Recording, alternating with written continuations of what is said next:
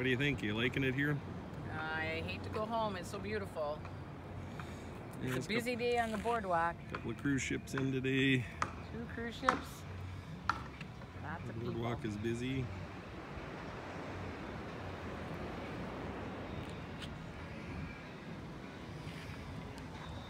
And a lot of work still going on from the hurricane. There's where Home Sweet Home was for the week at Oceans. Fun place. Really nice place.